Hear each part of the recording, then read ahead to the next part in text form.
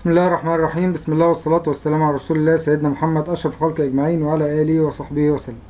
إخواني أهلا بيكم. النهاردة معادنا مع المحاضرة رقم 19 من الكورس الخاص ببرنامج Adobe Photoshop الإصدار الأخير Creative Suite 6 الكورس تحت رعاية أكاديمية الدارين بيقدمه لكم محمد عمر. إن شاء الله هنكمل النهاردة مع image. هتكلم هنكمل الجزئية اللي ناقصة في ال adjustments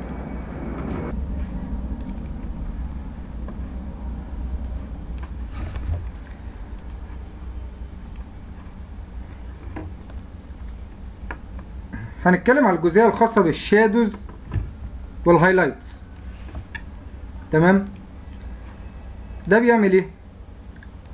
ببساطة زي ما إحنا شايفين الصورة كانت الأصل بتاعها متصورة بالمنظر ده. بعد المعالجة بال shadows وال highlight بقت بالمنظر ده وده اللي هنشوفه مع بعض دلوقتي. ما نيجي نعمل select على الصورة دي. ناخدها كده. ظهر عندنا فيها عيوب تصوير زي ما إحنا شايفين. عشان نعالج عيوب التصوير ده واضح يا جماعة إن عيوب التصوير هنا ظاهرة فين؟ ظاهرة في الإضاءات وفي الظلال. واضحة أكتر في الظلال الدليل على كده إن الصورة قدامي ظاهرة غامقة شوية. فعشان كده هبدأ إيه؟ هبدأ أعالجها بحاجة اسمها shadows و highlights في عندنا الجزئية الخاصة بالشادو والاماونت الاماونت والريدرز بتاعها. وعندي الجزء الخاص بال highlight وعندي الجزء الخاص بال adjustments طبعا من غير ما نعمل show بيظهر لنا هنا ال shadow وال highlight نقدر إيه؟ نفتح ونغمق في الظلال ونفتح ونغمق في الجزئية الإيه؟ اللي فيها highlight لما نيجي نعمل show more option بيظهر لنا ال panel كاملة زي ما إحنا شايفين. من خلال ال shadow نقدر نعالج الغمقان اللي الصورة اتصورت عليه ونقدر في ال tonal width نفتح شوية الحتة بتاعة الإضاءات في ال pixelات اللي فيها ظلال. نقوي الحتة بتاعة الإضاءات فيها شوية. وال radius بيعمل لنا آه زي آه بيحافظ لنا على التفاصيل أكتر. زي ما إحنا شايفين التفاصيل هنا بقت مبهمة خالص لما بقى صفر. لو زودناه بيبدأ يظهر لي التفاصيل بصورة أكتر. نفس اللي قلناه في ال shadows هو اللي موجود في ال highlight. هنيجي لل adjustment. هنلاقي إن هو إيه؟ إن هو بيظهر لي ال color correction بصورة أعلى. وعندي ال midtone contrast بيبدأ إيه؟ يديني contrast للصورة زي ما إحنا شايفين. يبقى لو فكرنا إن إحنا نعالج الصورة دي مع بعض دلوقتي نبدأ نظهرها بالوضع ده ونضغط okay. لو جينا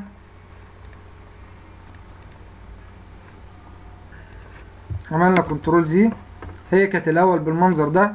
بعد ما. بعد ما عالجناها ال shadows وال highlights ظهرت لنا بتفاصيلها الواضحة بالمنظر. ده هنيجي نتكلم في حاجة تانية كمان. من ال adjustment اسمها ال HDR toning أو ال HDRI ويمكن دي منتشرة أكتر مع الناس اللي بتشتغل برامج 3D ال Max أو المايا أو السينما 4 دي لأنهم بيحتاجوه بيحتاجوه. أما يعملوا HDRI في الإضاءات بالنسبة للمشهد اللي هما شغالين عليه. وطبعا إحنا هنحتاجها وهنشوف هنعمل هنشتغل عليها إزاي.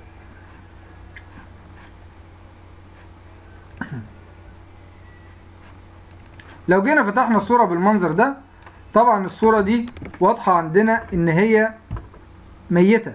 يعني تقريبا الصورة في عرف الناس اللي بيصوروا لو حد معانا دي بتسميها الصورة ميتة. لأن المعالم بتاعتها معالم كلها معالم رديئة أو معالم ميتة. فإحنا عايزين نحط شوية آآ آآ نلعب في ال color correction بتاعها عشان يبدأ يظهر لي الصورة بملامح أفضل من كده. وعن طريق ال option من ال adjustments بنجيب حاجة اسمها HDR toning أو ال HDRI. بيظهر لنا الشكل بالمنظر اللي إحنا شايفينه ده. كده قبل وكده بعد.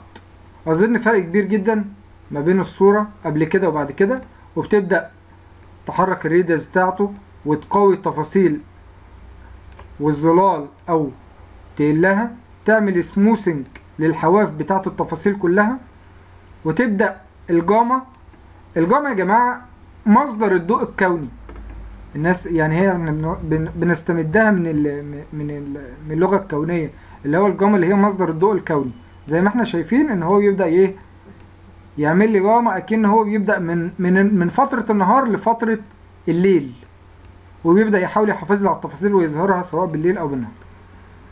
ال exposure وإحنا عارفينها بتعمل إيه؟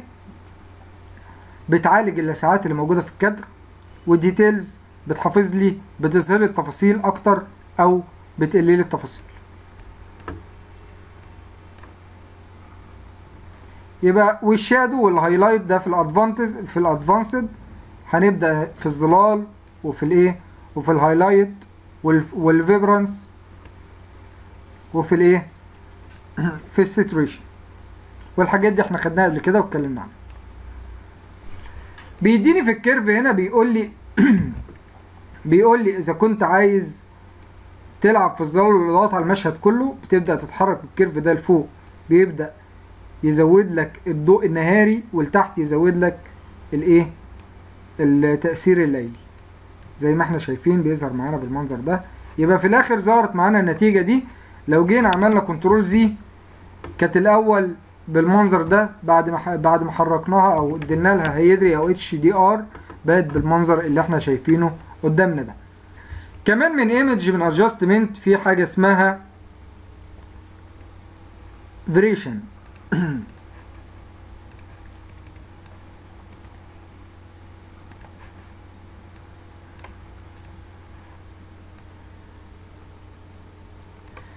ال variation ببساطة إن هو بيديني panel قدامي أو window قدامي متكونة من إيه؟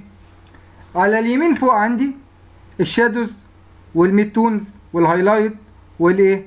وال saturation وعندي هنا fine أما بتيجي تزوده بيبدأ يزود لك ال الإضاءات زي ما إحنا شايفينه أو التأثيرات أو بيبدأ يقللها. عندي هنا ال original اللي هي الصورة الأصلية.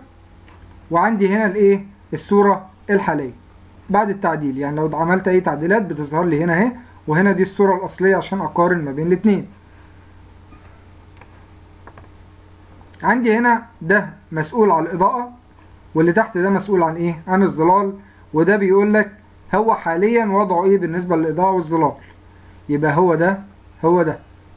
هنيجي هنا بيقول لي هتحط green شوية green في الصورة. أو هتحط شوية أصفر في الصورة أو أحمر في الصورة أو شوية ماجندا أو شوية أزرق أو شوية cyan. ده بكل بساطة يبقى ما نيجي ننفذ الأمر تاني.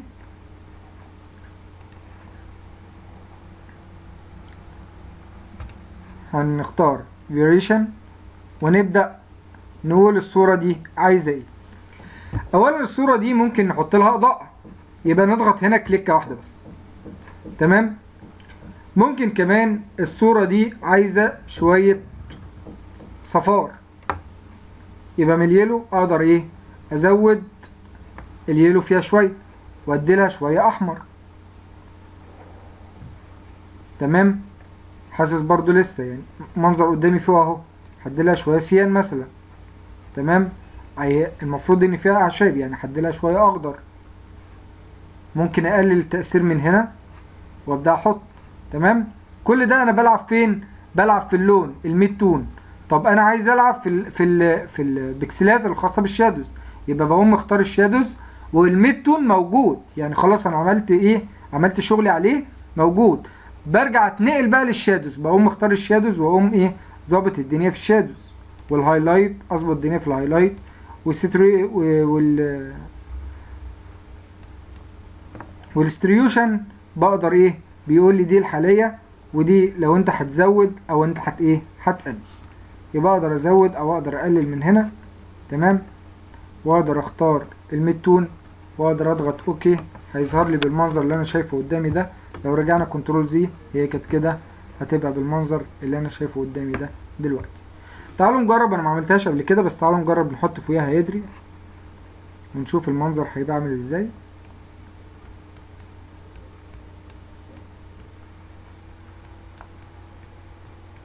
نفتح الجامع شوية و exposure نديله سنة exposure بسيطة ونوضح ال details شوية بسيطة خالص ونغمقها سنة. يعني أعتقد إن ال- المنظر قدامنا اختلف خالص. لو إحنا عملنا revert هو كان كده. الدنيا الصورة ميتة مفيش خضار مفيش حاجة قدامنا. طبعا بعد ما عدلنا الدنيا كلها بقت منورة قدامنا. وكده إحنا ممكن ان إحنا إيه نستفيد من الموضوع ده.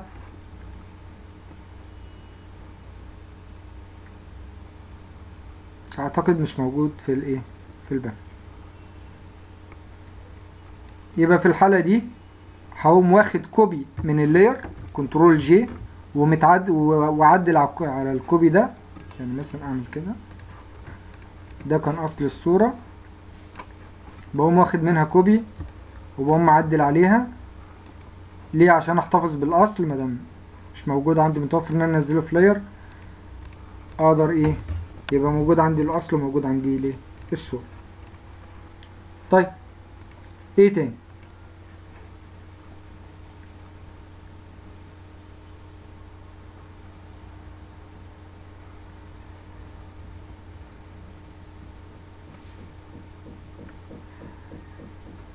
ال desaturate يا جماعة بيحول لي الصورة الأبيض وأسود بكل بساطة.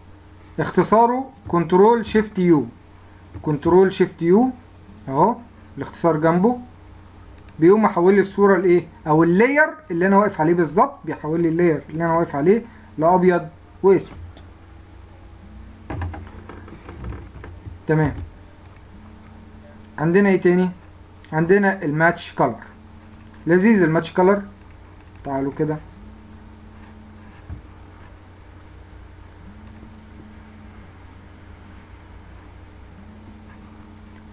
نفتح مثلا الصورة دي ونفتح الصورة. دي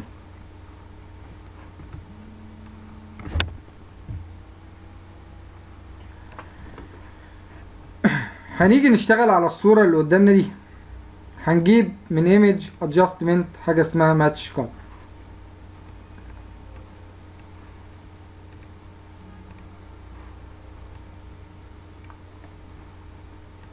ببساطة يا جماعة ال match color بيقول لي إيه؟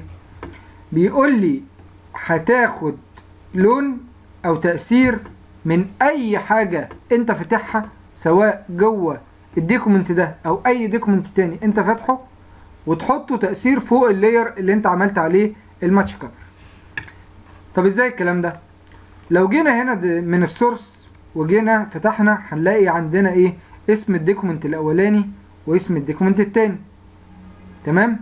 لو جينا عملنا ال document ده وخليناه تلات layerات وده layer ين وإحنا شغالين هنا هنشتغل على ال layer ده الأخير ده. تمام؟ وجبنا من image adjustment match color وجينا فتحنا قلت له اختار لي من إيه؟ ده اسمه إيه؟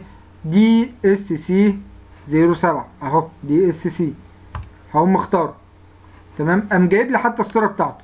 لو فتحت في ال layers بيقول لي أنت عايز تختار أنهي layer ال layer ال background ولا layer 1 ولا merged اعمل لي merged وهمي عندي في ال match color وانزل لك بيها كلها. يبقى أنا أقدر اختار ال layer واقدر اختار الايه؟ ال background أو أقدر اختار أي layer وأقدر أعمل merged المشهد كله بتاع ال ال ال document اللي أنا اخترته من ال source وينزل عليه ال effect كامل. أنا اخترت مثلا merged نزل على الصورة بالمنظر اللي أنا عامله قدامي ده أو بالمنظر اللي شايفه قدامي ده. ببدأ إيه؟ أعالج فيه. يبدأ ينزل قدامي بالتأثير اللي أنا شايفه.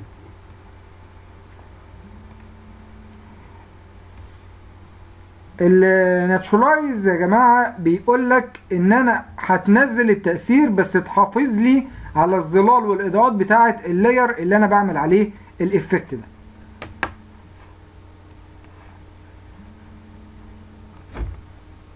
وده بكل بساطة الإيه؟ ال match color أقدر إن أنا أحدد select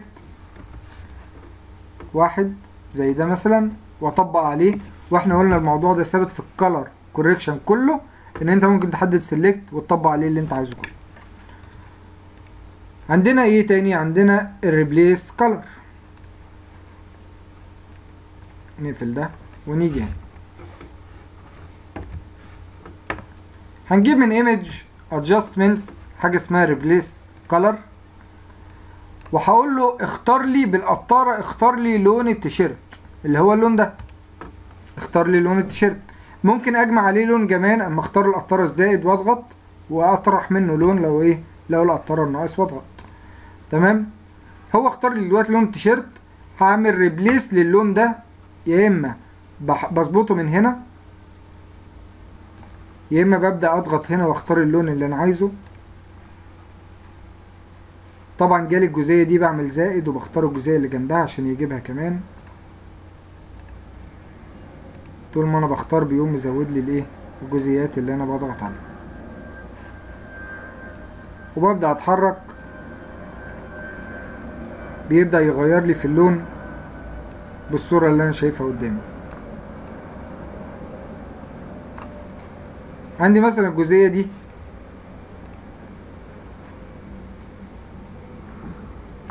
مش عايزة تظهر بفتح ال fuzziness هنا. أو ال fuzziness بيفتح معايا المساحة اللي أنا ببدأ أغير عليها الإيه؟ ال color بتاعي وأعمل لها replace لل color تمام.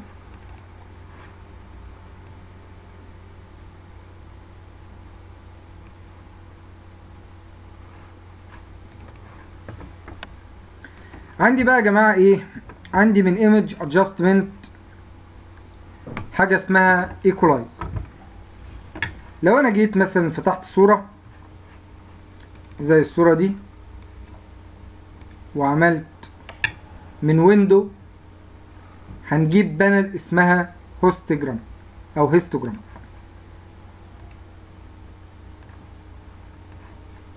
histogram يعني بيعمل لي رسم بياني للون. لون ال layer اللي أنا واقف عليه بيعمل لي ليه رسم بياني وعشان يوضح معانا أكتر هنجيب ال posterize لو أنتوا فاكرينه اللي بيقلل لي عدد الألوان وأخلي العدد مثلا إيه؟ 8 ومن ال histogram أقوم فاتح من هنا وأقوم مختار all channels view أو view هعد الحاجات دي هعد الش- الشرط دي هلاقيهم 8 يبقى معنى كده إنه اداني رسم بياني قال لي دلوقتي أنت عندك 8 مستويات ليه للألوان. وفي ال red وضعهم كده وفي ال green وضعهم كده وفي ال blue وضعهم إيه؟ وضعهم كده. أقدر أختار من هنا ال color أو أختار RGB مع بعض أو أختار أي حاجة أنا إيه؟ أنا عايزها.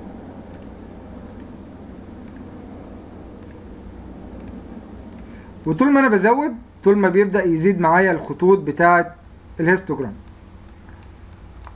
يبقى ده معناه إن هو بيعمل لي رسم بياني زي ما إحنا شايفين قدامنا المنظر بالصورة. تمام؟ ماشي. إحنا عارفين إن equalize يعني إيه؟ يعني تعادل. لو جينا ضغطنا equalize دلوقتي آه لازم أشيل ال- أقف على ال layer وأشيل التأثير. ماشي نضغط F12 revert ده أصل الصورة. هبدأ من image adjustment هجيب equalize عمل لي هنا إيه؟ زي ما إحنا شايفين عمل لي تعادل في نسب الألوان في الصورة. يبقى لو الصورة نسب الألوان بتاعتها مش مظبوطة بيعمل لي تعادل نسب الألوان بالنسبة والتناسب والنسبة ما بين اتنين والتناسب ما بين تلاتة وأكتر. ده. ده الفرق ما بين النسبة والتناسب. تمام؟ بيعمل لي الوضع ده وبيديني نتيجة ن- بيقول لك دي النتيجة بعد ما تطبق عليها الايه؟ الإيكولايز. عجبتك أو ما عجبتكش. وبيظهر لنا بالمنظر اللي إحنا شايفينه قدامنا قدامنا لو جينا اخترنا مثلا صورة تانية نجرب على الصورة دي مثلا.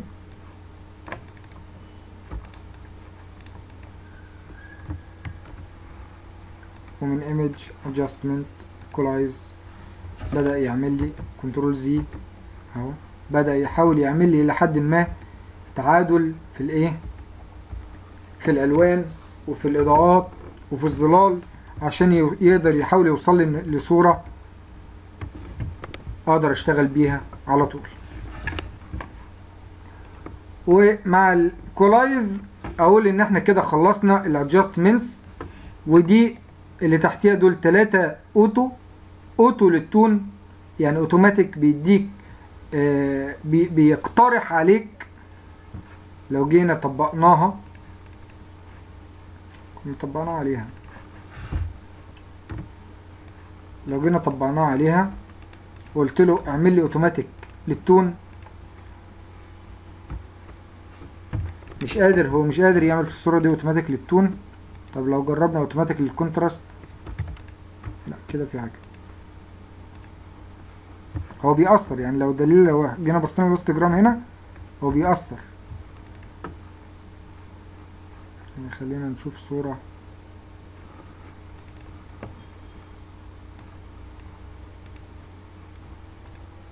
آه. وضحت هنا اهي automatic لل contrast. لو جيت بصيت هتلاقيها إيه الألوان بتاعتها بدأت توضح أكتر. بيدينا اقتراحات يعني. وغالبا إحنا ما بنستخدمهاش وما بنشتغلش بيها.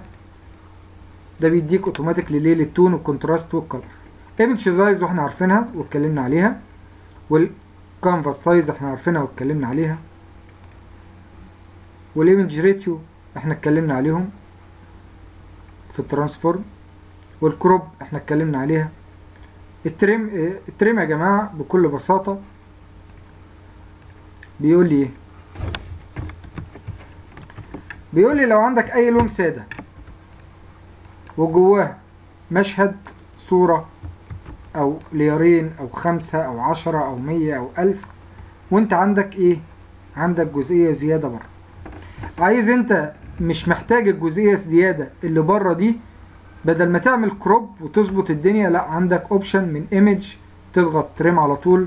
بتقول له منين؟ بتقول له على يعني الغي لي ال top والغي لي ال bottom والغي ال left والغي ال right أو أي جنب واحد أنت عايزه تقدر تتحكم وتطفي وتقيد أي أي واحد من دول. لو قلت له الأربعة وضغطت okay بدأ حول لي ال layer بالمنظر اللي إحنا شايفينه قدامنا ده. هو كان كده بعد ال trim لغى لي الجزئيات اللي بره اللي ما- فيهاش شغل وظهرها لي بالمنظر اللي أنا شايفه قدامي ده. طيب. عندي من image إيه تاني؟ reveal all يا جماعة. بص reveal all يعني إيه؟ أنا عندي ال layer ده نعمل بقى reset عندي ال layer ده طالع بره كده أو طالع بره خالص. أنا مش شايفه. هو عندي بخفيه وبظهره أنا مش موجود أصلا مش شايفه. تمام؟ بقدر أعمل من image reveal all بيبدأ يظهر لي أي layer موجود عندي بره ال document ويكبر لي مساحة ال document بال canvas size automatic يبقى لو أنا جيت عملت ده كده وسحبته جوه هنا كده وعملت reveal all حتى وأنا خفيها برضو عمل لي إيه؟ عمل لي reveal ليها. لو جيت عملتها كده كمان وعملت reveal بدأ كبر لي على إيه؟ لحد ما يظهر لي أي layer مخفي جوه ال document